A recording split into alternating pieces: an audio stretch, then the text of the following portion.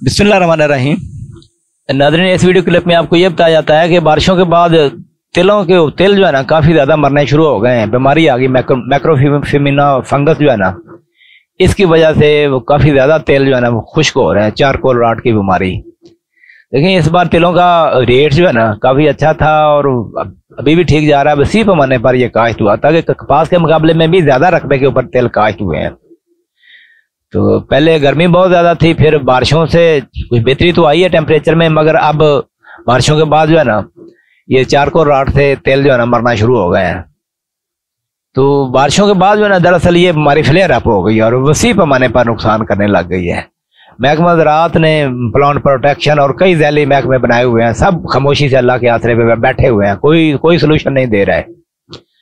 दरअसल तेल की जो है ना खास तौर पर ये अकसाम जो टी एच सिक्स है और टी एच फाइव ये कुदरती तौर पर इस बीमारी से ज़्यादा मुतासर होती है।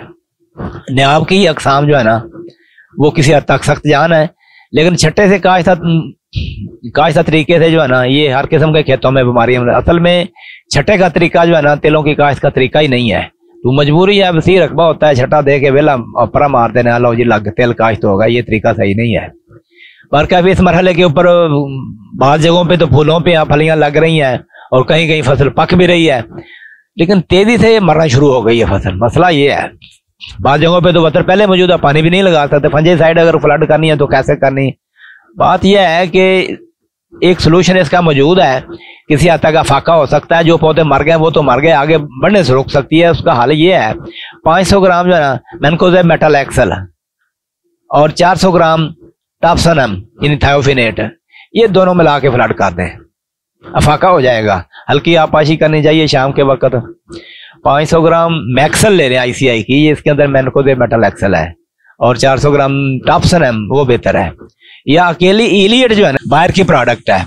500 ग्राम जो है ना, इलियट, ये फ्लड कर दें तो ये यकीनी तौर पर ये बीमारी जो है ना, रुक जाती है। तो मेरा मशवरा यही है कि अगर कोई बंदा कहता है कि इतनी कीमती फ़सल थी और काफ़ी अच्छी थी, अब मरना शुरू हो गई है।